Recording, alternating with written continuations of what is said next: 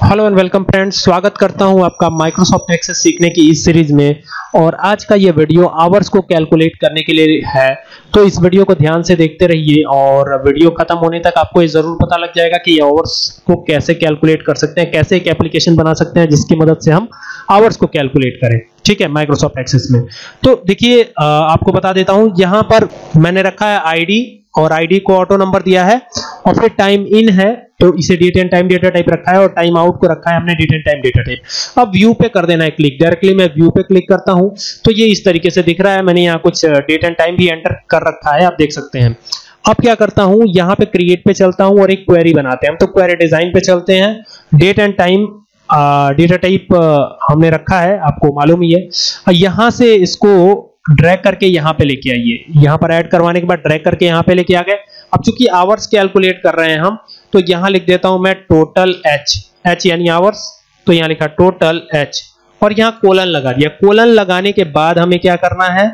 यहाँ पर हमें लिखना है डेट डिफ ठीक है? तो ये लिखा हमने डेट डिफ और डेट डिफ लिखने के बाद यहाँ पे स्क्वायर ब्रैकेट बनाया हमने। और स्क्वायर ब्रैकेट भी बनाने के पहले हम क्या करते हैं आपको याद होगा ठीक है सेकंड को कैलकुलेट करने के लिए हम एस कीवर्ड का यूज़ करते थे और जब आ, हमें घंटे को कैलकुलेट करना है तो हम यहाँ पे एच कीवर्ड का यूज़ करेंगे। तो यहाँ पे एच यूज़ किया हमने कॉमा दिया और कॉमा देने के बाद टाइम इन ले लिया यहाँ पे।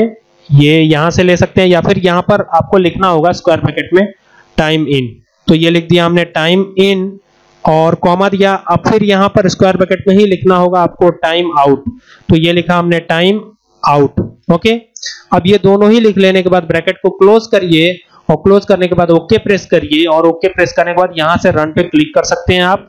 तो ये देखिए, यहाँ पर देख सकते हैं कि 7 से 12 के बीच 5 आवर्स होते हैं। ठीक है?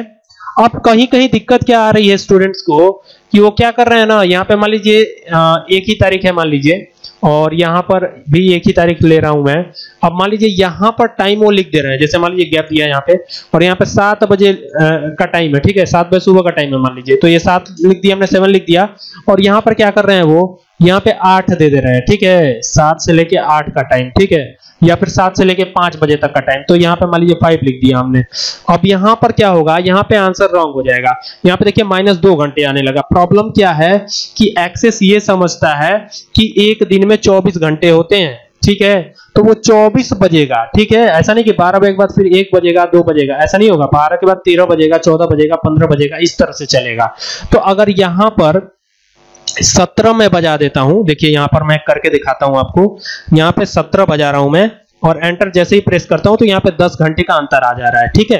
तो यहाँ पर दिक्कत हो सकती है आपको तो ये मैंने समझा दिया आपको टॉपिक तो उम्मीद करता हूँ कि बात आपके समझ में आ गई होगी।